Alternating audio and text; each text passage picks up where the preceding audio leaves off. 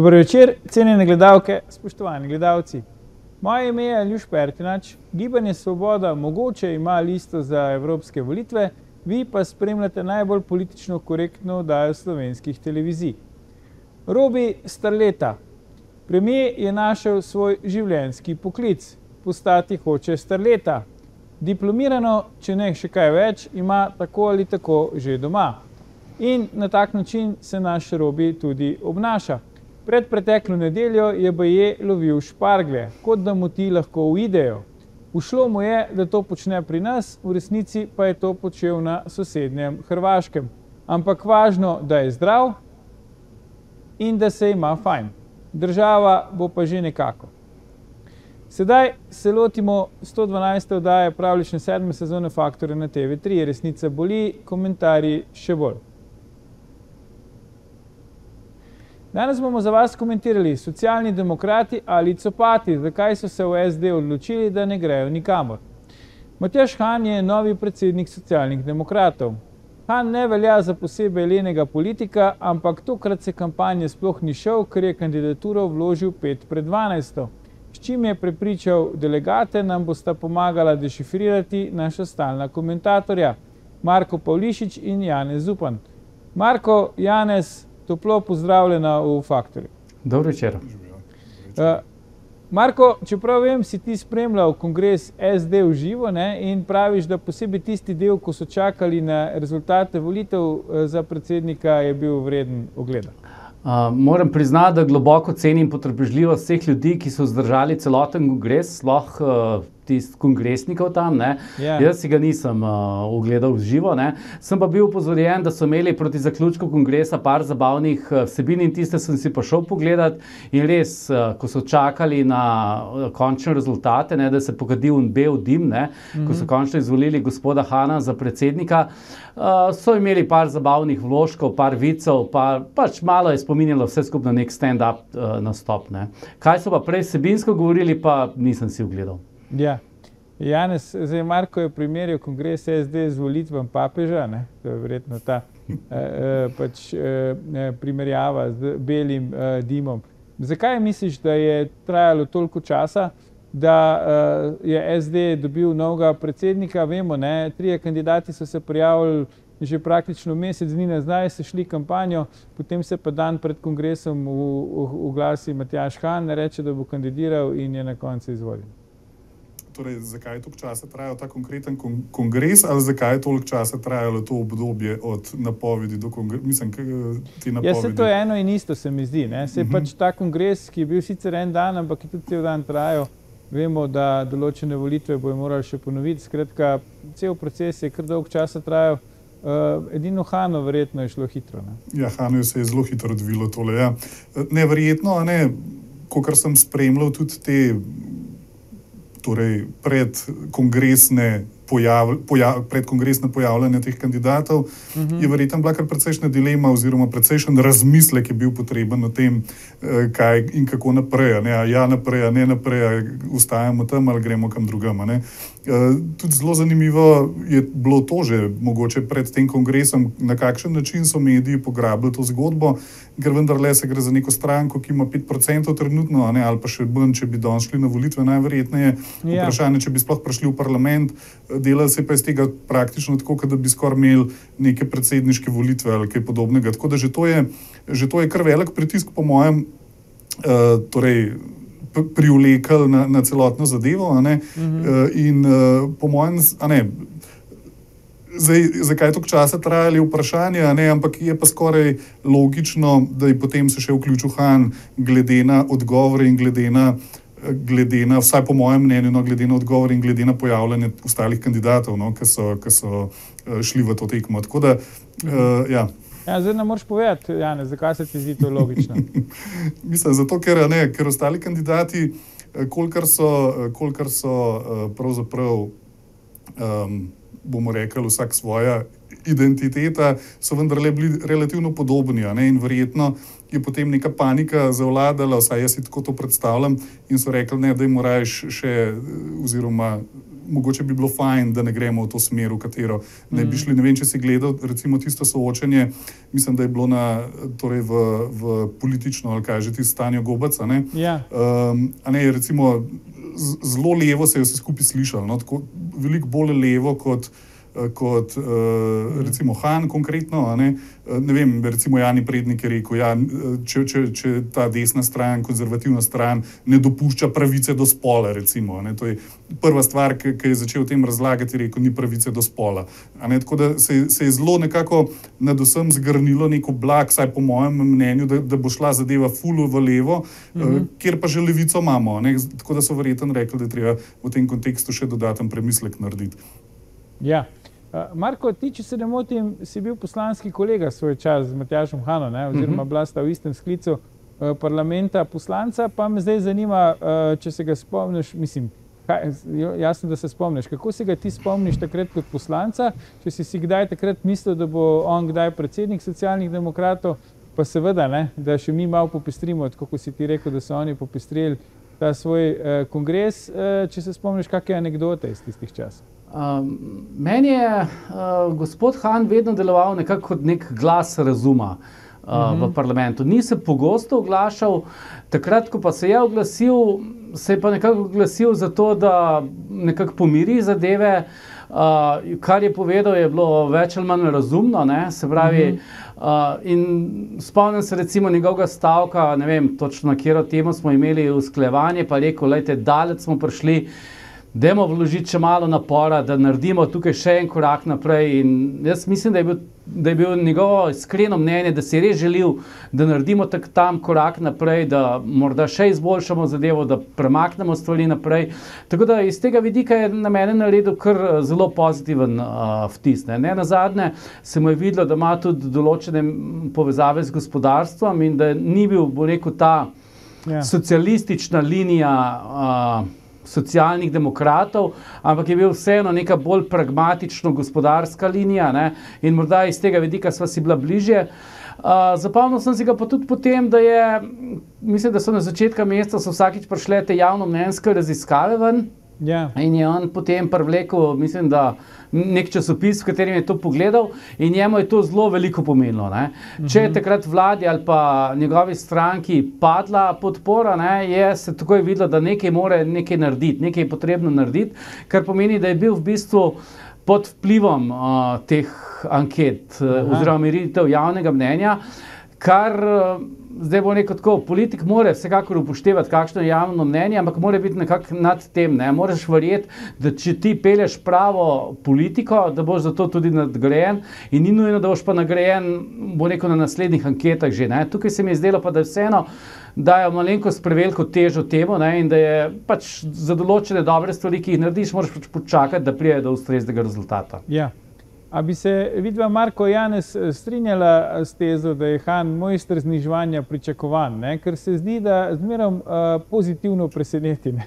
v vseh vlogah. Se pravi, kot poslanec najprej, to si ti zdaj Marko opisal, potem zdaj kot minister, ne? kdo bi si še mislil uh, včeraj, da bo Han kdaj minister, evo pa zdaj nekateri pravijo, da je najboljši minister in zdaj je presenetil še s tem, ko je kandidiral in bil izvoljen za predsednika vlade. Se torej strinjate z oceno, da, da Han ponovadi eh, pozitivno preseneti? Ja, to je zdaj zelo delikatno vprašanje v smislu tega, ali so standardi tako padli, da Han potem izpade kot najboljši minister, mhm. ali je dejansko Han tako dober, da je najboljši minister. Uh, Ja, tekmuješ pa s tistimi, s katerimi tekmuješ. Ja, se, to nima dosti vpliva. Mislim, če v šesti ligi tekmuješ, ne, je, je, je ne, razlika, koliko si ti dober, ja, pa koliko nisi. Ja. Um, in tukaj, mislim, to, to, to je prvo vprašanje. Ne, drugo, druga trditev je pa verjetna, glede sploh na to, kako se je v raznih teh soočenjih že prej, uh, pa kako je na kakšnih teh uh, tarčah recimo nastopil ali pa v drugih, v drugih medijih, uh mhm. -huh. dejansko se je prikazal kot nek glas, oziroma se je pokazal kot nek glas, razumeti, kot Marko tudi pravi. Eh, in v tem kontekstu je neki, bomo rek, bi rekel, da je nekaj uh, pozitivnega v parlamentu. Ne, ne glede ja. na to, kakšen sklic je, ne glede na to, da imamo tako slabše sklice, seveda potem vedno bolj ven seka taka, uh, taka drža. Uh, je pa zanimivo tudi, recimo, ne, kar pa človek vedno zastriže z ušesi. Jaz sem poslušal tudi njegov, njegov podcast, ki je, ki je v bistvu na delu komentiral. Mhm. In um, je ne trikrat je med samim pogovorom rekel, da bom pa iskreno povedal, da bom pa iskreno povedal. Ne? Človek mhm. seveda zastriže, ko nekdo, ko nekdo more trikrat poudariti, da bo ja. pa zdaj to iskreno. Mislim, da, da si hotel reči, da človek zastriže kot politik, reči, da je iskreno govoril. Ja, tudi, tudi to, tudi to, ampak veš, že, že, samo, to, navajni, ne, že samo to, da moraš to reči, veš, ja. je, je, kar, je kar kriza. Veš, kao, ja, vse ja. ostalo je kar nekaj, to je pa zdaj iskreno. Ja. Um, tako da v, v tem kontekstu, recimo, ne, zdaj težko pol dejansko ugotoviti, koliko je iskreno, pa koliko ni ta njegova drža. Ampak je pa povedano to, kar je Marko rekel, ne, da so ga zelo obremenjevale te, eh, te ankete in da je se tudi pogostoma obračal. Najverjetneje, ker so ga prizadele po, po vetru. Po, po ja. vetru tako, ja. Ja, ja. Dobro, dobro, razmišljaš, Marko. Zdaj, veš, razočaranje gre skupaj z velikimi pričakovanji. Ne? In gospod mhm. Han, vsekakor ni podobno kot naš primer, nekdo, ki bi na veliko in široko razlagal, kaj vse bo naredil, in potem ni nič od tega, in potem sledi veliko razočaranje. On, predvsem, načke veliko ne pove, ne? kar pomeni, da potem vse, kar naredi, se mu nekako šteje v plus in se ustvari ta uh, pozitivna slika o njem. Pa za razliko morda od kakšnega drugega politika, on dejansko jaz verjamem, da si iskreno želi pomagati in da posluša, kaj so problemi, in mal, malo manj razlaga, kaj bi morali in kaj, uh, kaj bojo naredili. Ne? In ljudje pa cenijo to, da se jih posluša. Ne? Zelo veliko krat, veliko problemov lahko rešiš že samo s tem, da samo poslušaš in nič ne rečeš nazaj. Ne? In tukaj pa mislim, da ima. Uh, Gospod Han, uh, nekako ta pristop, ne, da, da rajš malo špara besede, kot pa da bi na, na veliko raz, uh, naokoli uh, razmetalo. Ne. Uh. In iz tega vidika daje tudi nekaj, rekel, vtis neke skromnosti ne, in nekoga, ki pač iskreno si prizadeva za, za razumevanje ljudi, kar se mu definitivno šteje v plus. Ne na zadnje sem tudi s strani parih gospodarstvenikov slišal, da za njegovo trenutno ekipo v bistvu kar dobro sodelujejo uh, tudi v gospodarstvu, da pa so slišani. Zdaj, uh mhm. -huh. Ja, seveda se tukaj pojavi vprašanje, kaj je rezultat te slišanosti, ne? ker teh rezultatov, vsaj jaz do sedaj, prav veliko nisem videl, ne? ampak za samo ustvarjanje dobrega ja. mnenja je pa v bistvu to že zadošča. Le, glede rezultatov ti lahko jaz povem, Marko, kot nekdanji insider. Ne? Rezultat slišanosti je odmev. Ja. se slišiš. Ne? samega sebe. Pustimo šalo na stran, predlagam, da si vzamemo krajši premor, ampak ne na umit, gledalke, gledalci, se vrnemo po oglasih, ko nadaljujemo s komentiranjem. So socialni demokrati še demokrati ali so zgolj še copati? Ostanite.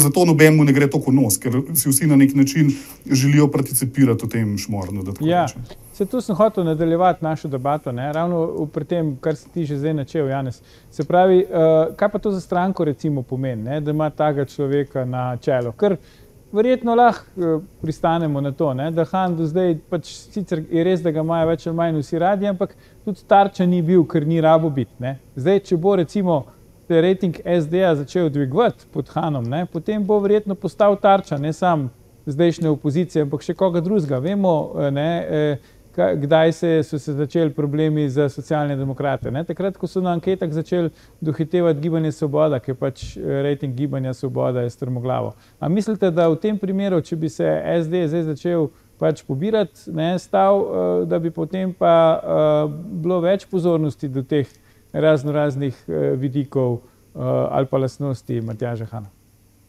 Jaz mislim, da ta konkretna lastnost se mu ne bo metala naprej. No? Zato, ker je, tako kot je tudi Marko povedal, ne, da je v gibanju Svoboda nekdo, ki ga imamo še za še bogatejšega, čeprav najverjetneje, kot ti praviš, podcenjujemo Hanna na, na tej strani, ja. ne, v, tem, v tem kontekstu, oziroma ne vemo, ne vemo ne o njem, pa ne o golobovem. Manj stroškov ima, po mojem, Han tekočih, posebej za to. Pa definitivno. Najverjetneje lahko. Premijer goloba. Ja, ja Han, naj, mislim, tako kot zgleda, ne se ne vemo tega, ampak najverjetneje lahko živi od svojih prihrankov. Ja. Mm. Um, v glavnem, tako da mislim, da to ne bo, da to ne bo na prvo žogo. Ne se tudi videli smo, da, da tudi v tej rušitvi, katero se ti umenijo, torej ko je nekako gibanje svoboda toliko padla, pa je SD toliko zrasla. Ni šlo za to, da bi se napadel predsednik, da bi se napadel ne vem kdo, ampak je šlo za en tak, recimo, temu precej bizaren precej bizaren primer, oziroma precej bizarno aferico, ki je potem uh, nekako spod, spodnašala SD, eh, ki ga pa, kot zdaj kažejo te javno mnenjske, kolikor jim je zavrjeta, ne se to so bolj javno ustvarjalske torej, ankete. Um, je pa, je pa vendarle, ni zdaj take škode to naredilo, ampak je pa, je pa seveda ostavil čas na nek način v socialni demokraciji, da so potem na hitro mogli ta kongres narediti. Tako da mislim, da to ne bo, no, da bojo kaj drugega prolekali iz, iz uh, rokava oziroma iz, iz kakšne mm. omare in prepričan sem, da je tega ne broj, da kjerkoli omara se odpre v SD-ju, kaj vam pade, saj jaz tako mislim. No, uh, V gibanju Svoboda, seveda ne, ker je gibanje Svoboda, se vemo, koliko dolgoletna stranka. Ampak v teh starih strankah, verjetno, je pa vseh tako, da, da, uh mhm. -huh. da se kakšno omaro odpre, pa kaj vam pade. Ja. Ja. Uh, Marko, zdaj uh, v bistvu, kaj se bo zdaj dogajalo po tvoje z SD? Ne? Uh, ti so zdih, uh, se mi zdi, Tanja Fajon, ne, na, ko so bili razglašeni rezultati volitev za predsednika, ne, ki so ga ujele televizijske kamere, je bil tudi nekaj posebnega, recimo ja. za me. Nismo navajeni, da nekdo, ki ne kandidira, ne, tako vzdihuje. Po rezultatih, ja, vemo sicer, zakaj je vzdihnila, ker očitno je, se bo zgodilo tisto, kar si je najbolj želela, to pa je, da ostane ministrstvo za donanje zadeve, po vsej verjetnosti tudi eh, podpredsednica vlade ali pa bo mogoče to zdaj postal vendarle Matjaš Han, ne, čeprav vidimo, da v Levici so imeli podobno situacijo, pa niso ničesar eh, spremenili. Ne? Pričakuješ, eh, Marko, da bo šlo vse po starem, ali se bo vendarle začelo zdaj kaj eh, spremenjati, ko bo formalno šef Han? Uh, pričakujem, da se bodo zgodili prvomajski prazniki. Uh, ljudje bodo šli na dopust, po, po praznikih smo kmalo že junija, pa so že poletne počitnice in potem bo enkrat pač jesen. Uh -huh. uh, z drugimi besedami, mislim, da se bo s tem imenovanjem gospoda Hanna za predsednika, so vse zadeve v koaliciji nekako umirile in sedaj se bodo posvetili pomembnejšim zadevam, kot je lov na divje špargle in podobne stvari. Ja. Tukaj mislim, da se, stvari, da, da se ne bo nič kaj tazga doga, uh, dogajalo. Ne na zadnje je tudi gospod Han.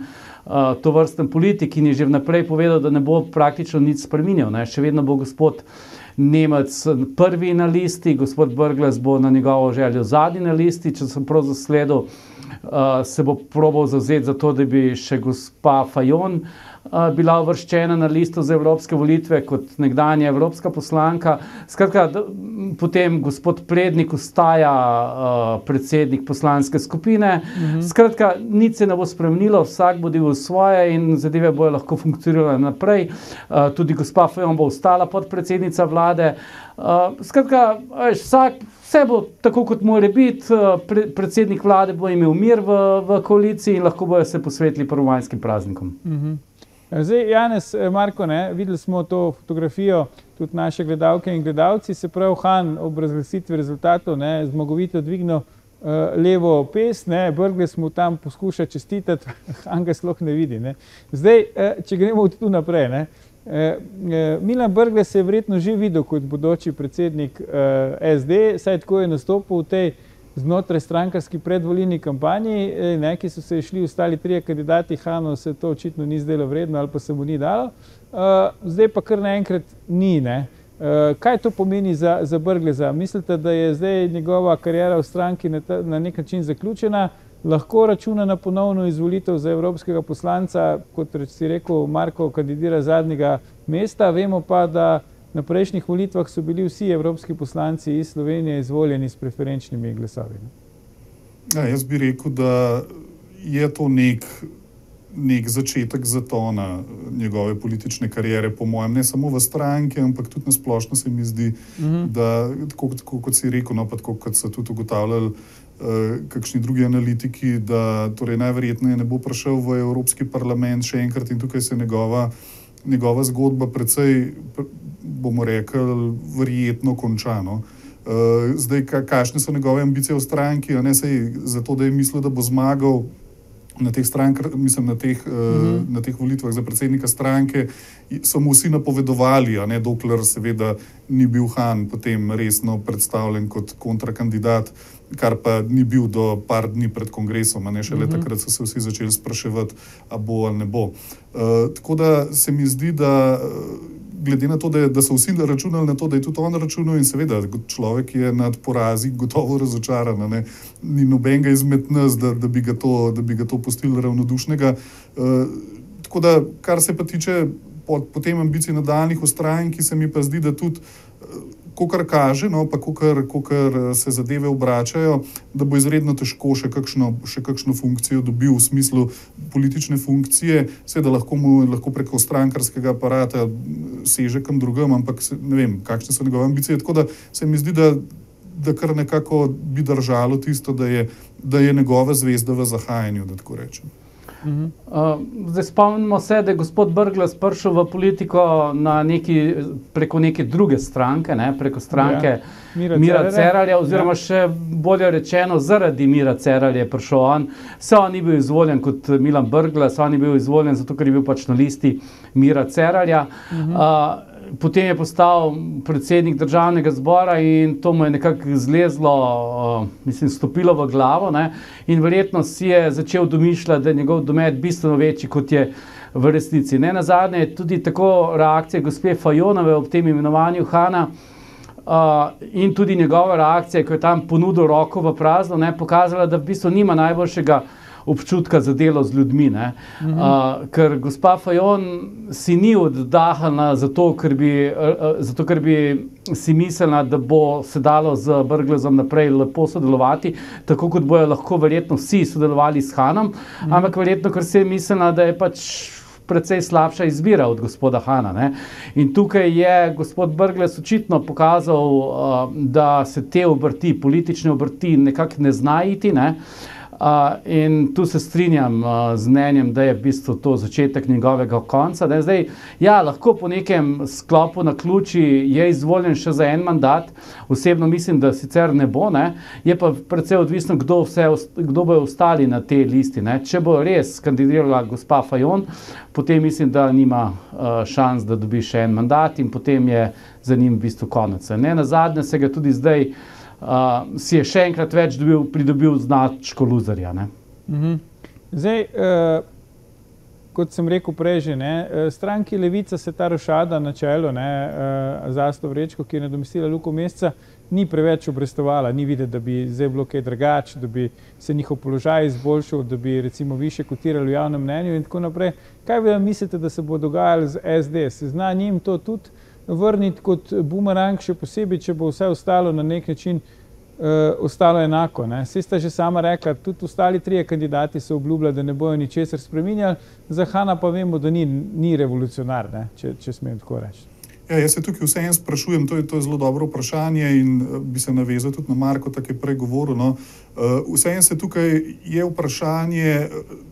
Torej, najverjetneje bo tako, kot je Marko rekel, da do poletja se kaj dosti ne bo zgodilo. Ampak vendar. Le... Tako že jesen, ne? se pa ne smemo. ja, to, to bomo videli, kaj bo jesen. Ampak ne, so neke težnje bile potem. Mislim, težne. V Levici se je naredilo, se, kar se je naredilo, torej, da je neko še skrajnejšo, torej še, še bolj antistranka šla stran. Uh, tudi tukaj se mi zdi, da je eno krilo, torej, kot je videti, eno krilo teh, ki jim je seveda Han absolutno premalo lev in preveč tako kot je tudi Marko povdarjal, preveč, ja. Preveč zlizan z gospodarstvom na nek način. Mogoče ne? celo več kot krilo, ja, ne, vse vemo, rezultat je bil ja, zelo tesen, se, ne, v bistvu Han je dobil zgolj deset glasov več od uh, Brgleza. Imaš prav, več kot, več kot krilo, ne, lahko bi na pol pol šla stranka. Mm. Ne, tako da vprašanje, kaj se bo zgodilo, to, bo, to bomo videli, no, ampak eh, jaz ne izključujem te možnosti, da bi se, da bi se uh, torej ne krilo, ampak da bi stranka enostavno šla na dva dela, kjer bi bila ena bolj leva, ena pa bolj ta bolj ta socialno-demokratska, kot je, -huh. kot je Han. Recimo se mi zdi, da je v svojem bistvu vendarle bolj, uh, vsaj želje njegove, mogoče ne njegovo finančno stanje, ampak ali pa tudi, ne, se, kot smo ugotavljali, je finančno stanje socialnih demokratov ni zdaj neka, neka, torej neko, nek pokazatelj tega, kako stojiš za idejami, ampak vendarle no, je on bolj tista neka taka sredinsko eh, socialdemokratska država. Mhm. Marko, ti si bil poslanc eh, liste Gregorja Virenta, ne? tu niste imeli težav s tem, kdo je predsednik stranke, se je že ime stranke pove, medtem ko pri SD očitno imajo s tem velike probleme. Ne? Zelo hitro pa zelo pogosto menjavajo predsednike uh, stranke, za neke tradicionalne stranke slovenske to ni tako značilno. Ne? Zakaj misliš, da oni kar naprej iščejo tega pravega predsednika in ali so ga zdaj s Hanom končno našli? Če pogledamo nazaj, so oni imeli enega zelo dobrega predsednika, ki jih je tudi pripeljal do zmage do edine zmage na volitvah. Ja, ta je pa, bil še zadnji, ki je bil dolgo časa. Ja, pa, so mu, pa so se mu potem odrekli. Uh, jaz tukaj vidim gospoda Hanna bolj kot nekega prehodnega predsednika. Ne? Se pravi, in tudi vsi ostali tri kandidati bi, bi dobili popolnoma enako znako. To niso to niso kandidati, ki bi stranko nekako peljali v neko smer, ampak predvsem zdržujejo neko trenutni status quo. Ne. Noben -hmm. od njih, mislim, da ne bi predstavil stvari v neko novo predstavo, dal neke nove energije, jih bo rekel, popeljal v neko. Mm, rečemo pravo socialdemokratsko smer zahodnoevropskega tipa, kar bi Slovenija dejansko potrebovala, neko tako stranko. Mislim, da gre tukaj bolj za za nekega prehodnika, predsednika, dokler se ne bo recimo spostavil neka, neka močnejša, neka bolj eh, markantna figura. Mm. Uh, ampak trenutno je politična situacija v Sloveniji taka, da, je, da gre to v prid uh, socialnim demokratom. Ne? Mislim, da bolj, mislim, trenutno je v Sloveniji najpomembnejše, ko greš ti ljudem na živce. Ne? Ko grejo mm -hmm. posamezni politiki ljudem na živce in tisti, ki grejo bolj na živce, tisti bojo manj dobili glasov. Ne? Zdaj, Han je tukaj to vrsten človek, ki, ki ne gre prav ljudem zelo na živce, ne? kar pomeni, da bo bil bolj igral nek. Uh, nek neupadljivo fi, figuro ne, in to se zna socialnim demokratom obrestovati. Uh, ker tisti, ki so glasni, ki, um, ki napovedujejo vse sorte stvari, ki strašijo ljudi, ne, se jih ljudje ne veličajo ne, in ti bojo potem kaznovani na volitvah. Tako da jaz mislim, da so tukaj socialni demokrati. Relativno dobro izbrali, ne, ne bo pa to prineslo neke, neke spremembe njihove politike, niti uh, mhm. sprememb v državi. Ja, tukaj se jaz tudi z Markom strinjam, da je v trenutni konstelaciji vlade bolj, če smehen bolj v senci, oziroma mehen bolj neviden, kot pa da bi preveč izstopal v tem, ja kaj se ne naredi. Ja. Da te ni na fotografijah na Instagramu, hočeš reči. Ne? Tudi to. Tudi to. Tam vidimo, da se vse največje svinarije se zdaj tam dogajajo, ampak pustimo zdaj to. No, je pa, je pa ja. tukaj že naredil Han prvo napako ne? in sicer je pustil, da so ga posneli skupaj z Golobom, kako sta tam zaigrala tiste čestitke in pozdrave, ja. ki je izgledalo res, res bizarno. Ne? Tako da upam, da se bo tega v prihodnje zdržal in ne prepusti Instagram Tini in uh, Robertu. Ja, čeprav, uh, kot si rekel, ne, da je bil zelo služen anket, ne, mogoče je tudi služen te, pač, kako bi rekel, to vrstne propagande. Bomo, bomo videli.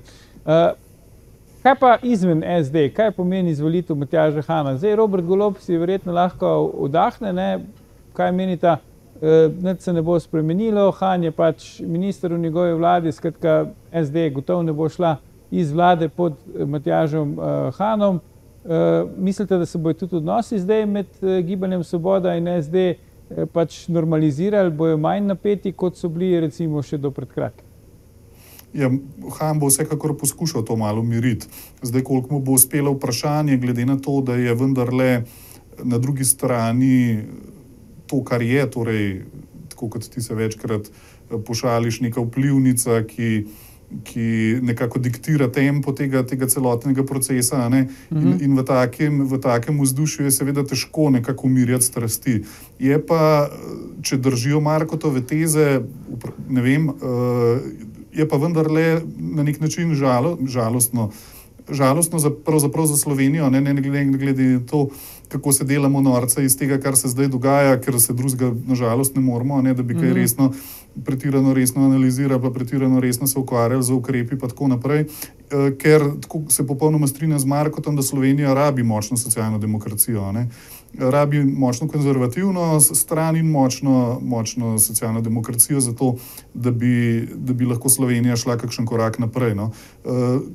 Uh, tako da je slabo, ne? če ostaješ na mestu, nazaduješ, to je ne, neka stara ljudska modrost in v tem pogledu se mi zdi, da, da ni preveč dober, da, da se bo sopet cepetalo na mestu. Rajš bi videl, da bi jaz osebno, da bi kakšna, kakšna kakšna oseba prišla, ki bi premaknila, da so vsaj nekako, tako kot je Jani prednik rekel, da so brez barve in okusa, ne, da bi se mhm. vsaj neka barva in okus dobila in da bi s tem, da bi s tem vedeli, kam pravzaprav.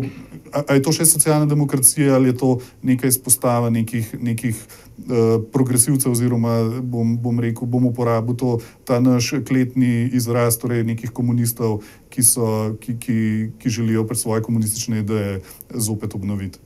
Uh, jaz vseeno mislim, da si bo gospod Han upal precej več uh, reči predsedniku vlade, kot se je dosedanja predsednica, in mm -hmm. to tudi precej bolje argumentirano obrazložiti, in da bo morda gospod Golob več slišal. Ne? Zdaj. Uh, ali bo to kaj pomagalo, ali bo s tem lahko socialna demokracija več točk svojega programa recimo izpolnila in šla bolj po svoji poti, bomo še videli, na to si čistko ne bi upal staviti. Ne, ne na zadnje so se odločili, da imajo resorje, ki niso tako zelo socialno-demokratski, kot bi bili lahko yeah. Ja. kateri drugi, ne? ampak eh, resor, ki ga konkretno gospod Han vodi, ne, pa, pa omogoča to. Ne? Tako da jaz mislim, da tukaj bo se lažje pozicioniralo, predvsem je pa ta njegova nekonfliktnost in uh, pripravljenost na pogovor in na, na to, da se vlaga trud v v premike naprej, ne, bi znale pozitivno uh, vplivati na to. Uh, je pa, kot je razvidno tudi iz uh, uradnega glasila stranke Svoboda, se pravi nekega necenzuriranega portala, je, ne, uh, yeah. Ja. so pa napade na SD vsekakor nadaljevali. Ne, sej, mislim, da že včeraj ali pa predvčerajšnjim so objavili novo serijo nekih težav, vse že, bo rekel, trikrat pogledate zgodbe, ne?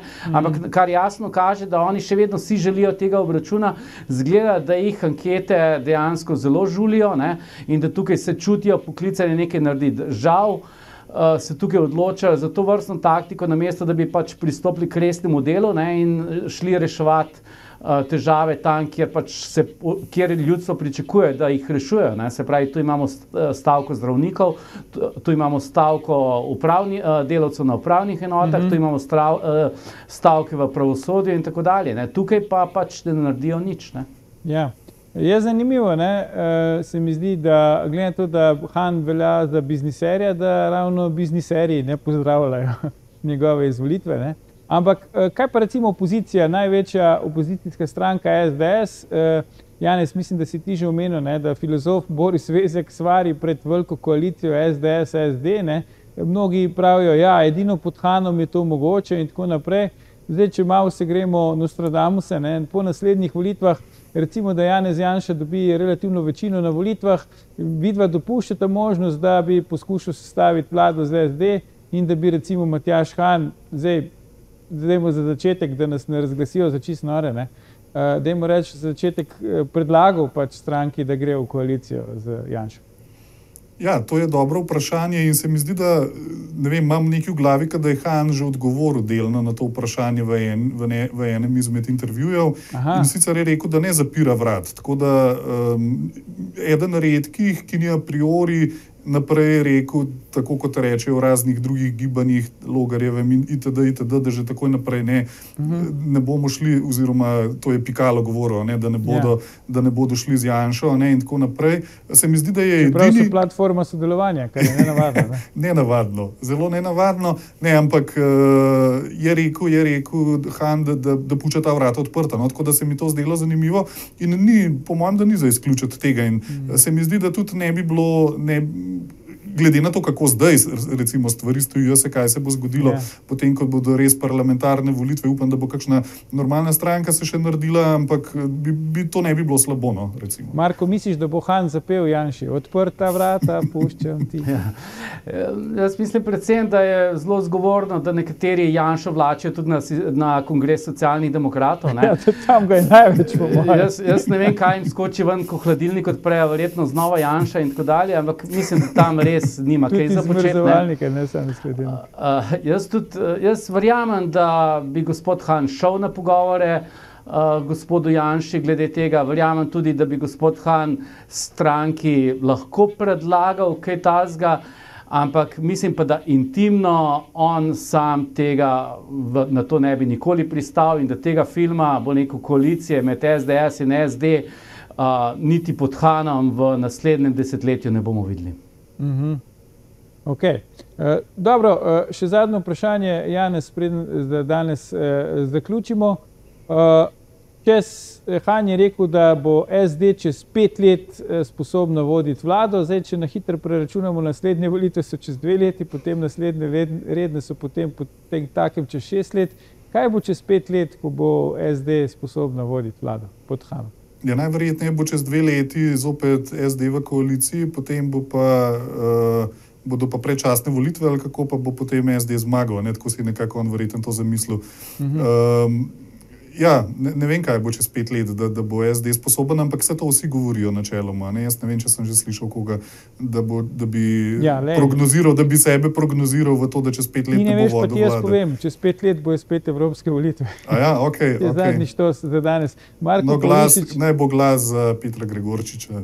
Aha, ok, dobro, dobro. No, viš, to pa je že čisto nova tema. E, e, Marko Polišič, ja, ne zupa, najlepša hvala za vajne današnje komentarje v naši vdaji gledalke, gledalci, to je bil o tem, ali so v SD zgolj še copati, že 1020 faktor na TV3. Glede našo oddajo tudi ta konec sedna, mi pa se uživo spet vidimo v ponedeljek, ko nam bo Pavel Rupar, glas upokojencev iz prve roke, povedal, zakaj na evropskih volitvah izredno podpira kandidatko SDS na zadnjem mestu na njihovi listi Zalo Tomašič. Ne zamudite, predvsem pa ne pozabite, ni vseeno, kdo kaj reče.